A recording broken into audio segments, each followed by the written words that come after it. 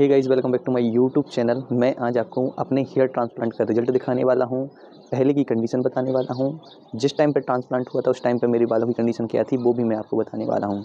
तो सबसे पहले आप देखिए कि जब मैंने अपना हेयर ट्रांसप्लांट नहीं कराया था, उसके पहले की कंडीशन ये थी इतने एरिया में मेरे बाल झड़ चुके थे और ये पूरा एरिया कवर करवाना था तो मैं, मैंने हॉस्पिटल को चूज़ किया और मैं हॉस्पिटल गया। मैंने अपना हेयर ट्रांसप्लांट कराने का डिसीज़न लिया।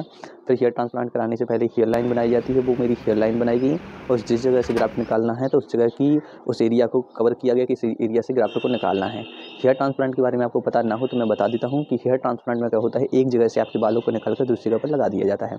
सबसे पहले एक डोनर एरिया होता है, इस एरिया से आपके ग्राफ्ट को एक एक निकाला जाएगा।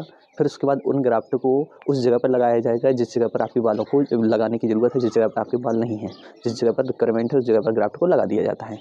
अब क्या होता है कि हेयर ट्रांसप्लांट तो मैंने करवा लिया, उसके बाद मेरी कंडीशन दो से दस दिन में ये हो जाती है, यहाँ पर बहुत ज़्यादा क्लॉट जम जाते हैं।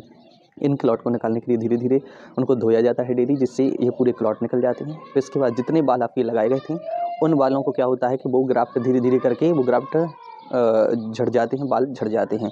फिर आपका क्या होता है कि वो होता है सेडिंग फ़ेज़ इस फ़ेज़ में साइडिंग होती है, पूरे बाल झड़ जाते हैं, ठीक है? फिर क्या होता है कि आपके बाल धीरे धीरे उगना स्टार्ट होते हैं। चौथे महीने से आपका काफ़ी रिज़ल्ट दिखना स्टार्ट हो जाता है।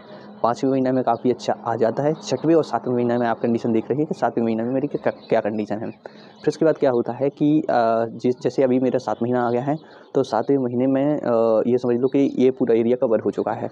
अब मेरे फ्रंट एरिया की कंडीशन देखिए कि सात महीने का रिज़ल्ट कैसा है। बिल्कुल चूम करके मैं दिखा रहा हूँ, ताकि आप लोगों को एक एक बाल दिख सकें। और ये है कि ज़्यादातर आप नेचुरली रिज़ल्ट देखो। जैसे मैं वीडियो बनाता हूँ तो वीडियो में लाइट में बनाता हूँ खुले में कि आपको ज़्यादा अच्छे से अच्छा दिखे। यदि मैं रूम के अंदर दिखाऊँगा तो वो रिज़ल्ट उतना ज़्यादा परफेक्ट नहीं देखेगा। इसलिए मैं कोशिश करता हूँ, धूप में दिखाता हूँ लाइट में दिखाता हूँ कि आपको वो चीज़ दिख सके कि हेयर ट्रांसप्लांट के बाद आखिर सच्चाई क्या रहती है तो वो आपको दिख सके। तो मुझे ये बताना था आपको, मैंने अपना रिज़ल्ट भी दिखा दिया है कि देखिए कि मतलब इतना फ्रंट एरिया जो कवर हुआ है, इतने अच्छे ग्राफ्ट आ चुके हैं ग्राफ्ट की क्वालिटी बढ़ चुकी है, सारी कंडीशन ठीक हो चुकी है तो कोई दिक्कत नहीं है तो आप भी अपना ट्रांसप्लांट कराने का सोच रहे हैं तो करवा सकते हैं, बहुत अच्छा प्रोसीजर है, कोई दिक्कत नहीं है। मैंने जो अपना हेयर ट्रांसप्लांट कराया था hair free hair grow clinic Bhopal से कराया था डॉक्टर अंकित जिन ने ट्रांसप्लांट किया था, मुझे लगता था कि मैं बहुत बड़ा और बहुत आगे जाके और ज़्यादा पैसे खर्च करके ट्रांसप्लांट कराऊँगा। बट मैंने लोगों के रिज़ल्ट देखे, तब मैंने उस हॉस्पिटल को चूज़ किया, मैंने वहाँ से अपना ट्रांसप्लांट कराया। तो आप भी चाहते हैं अपना हेयर ट्रांसप्लांट कराना तो विज़िट करके आप वहाँ के पहले रिज़ल्ट देखिए। जैसे आप मेरा रिज़ल्ट देख रहे हैं तो मैं उनके पास कई लोगों की थ्योरी है। तो उनका आप देख सकते हैं, कोई दिक्कत नहीं है।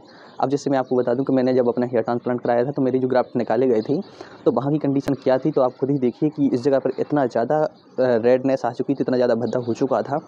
अब क्या है कि उस जगह पर जिस जगह से बाल निकाले गए थे, उसकी कंडीशन आज प्रेजेंट में देखिए कि क्या हो चुकी है, वो आपको खुद ही समझ आ जाएगी।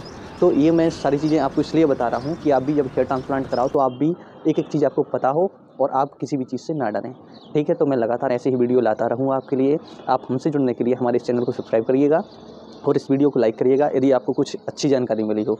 ठीक है तो आप लोगों को ऐसे ही मिलती रहेंगी सारी videos. Thank you bye bye